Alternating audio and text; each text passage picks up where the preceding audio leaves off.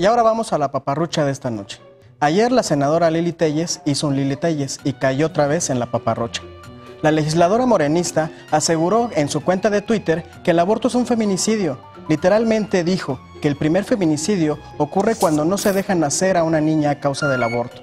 Esto en respuesta a la también senadora de Morena, Jesús Rodríguez, que compartió un video apoyando el paro convocado el 9 de marzo y el derecho de las mujeres a decidir sobre su cuerpo.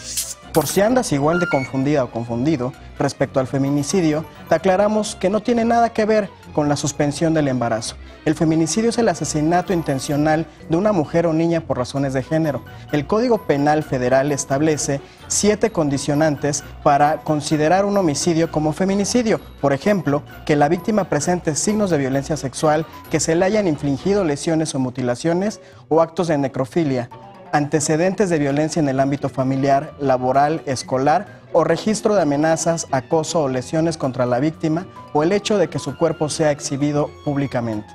Telles afirmó además que las mujeres de apenas días o semanas de vida merecen ser protegidas, pero la determinación efectiva del sexo fetal se puede hacer a partir de la semana 12 de gestación.